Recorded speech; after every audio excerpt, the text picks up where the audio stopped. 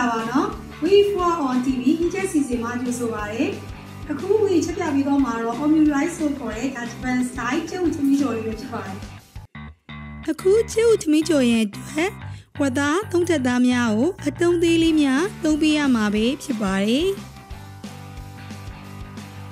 အရသာအတွက်စားလက်ဖိတ်စုံသုံးမှုတစ်ပုံကိုအရင်ဆုံးထည့်ပေးရပါမယ် ပြီးမှအရသာမုံလက်ဖိတ်စုံသုံးမှုတစ်ပုံကိုထည့်ပြီးဝတ်သားသုံးထက်သားများပြီးသမအောင်ရိုးနေပေးရမှာပဲဖြစ်ပါတယ်ဟင်းမြတွေကိုချက်တဲ့အခါမှာ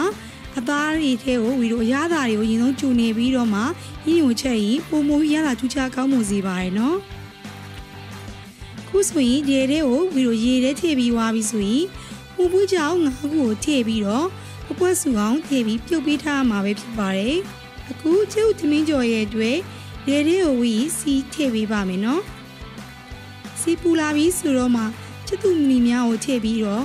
အယောင်ရအောင်စီပူထိုးပေးရမှာပဲဖြစ်ပါတယ်ပြီးရင်ရတာနေထားသောဝက်သားသုံးချက်သားများကိုထည့်ပြီး2မိနစ်ခန့်စပူထိုးပေးရမှာပဲဖြစ်ပါတယ်ထို့နောက် QC စပွဲတီစုံတစုံကိုထည့်ပြီး သမအောင်ရောပြီးရပါပါ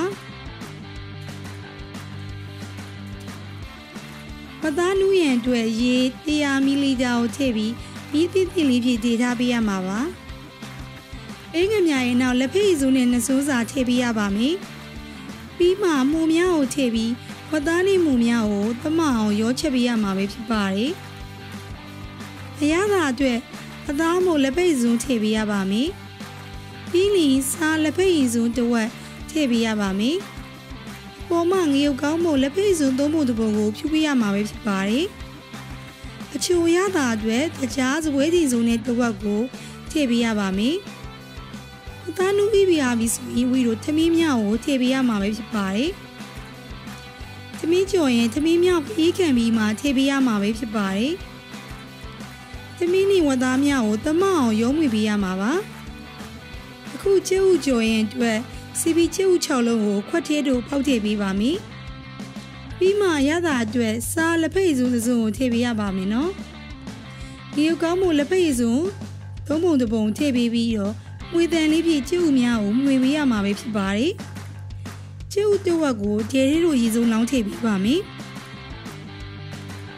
ပြီးမှကျန်တဝက်ကိုထည့်ပြီးပြူပြည့်ခဏနာလေးငွေပေးရမှာပါနော်။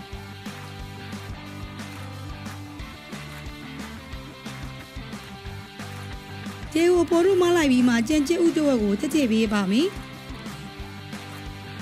ကျဲဥကိုဒေတစ်ဖက်သို့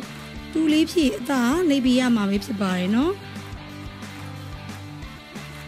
ပြီးရင်ကျုပ်လိတ်ကိုတစ်ဖက်သို့ပြန်လှန်ပေးရပါမယ်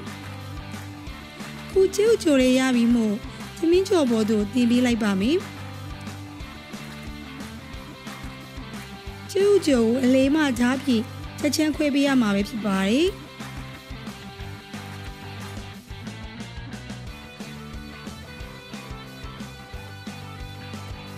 ကျေးဥသမင်းကျော်ပေါ်မှာအိုကိုနိုမီယာကီဆော့စ်ကိုဆန်းပေးရမှာပဲဖြစ်ပါတယ်